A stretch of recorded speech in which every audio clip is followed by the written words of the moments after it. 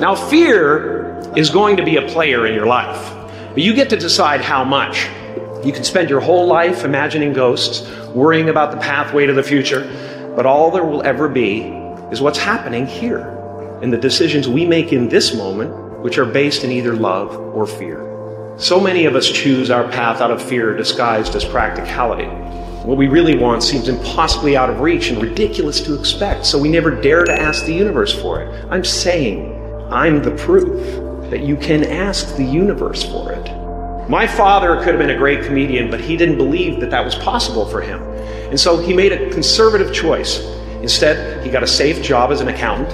And when I was 12 years old, he was let go from that safe job. And our family had to do whatever we could to survive. I learned many great lessons from my father, not the least of which was that you can fail at what you don't want. So you might as well take a chance on doing what you love.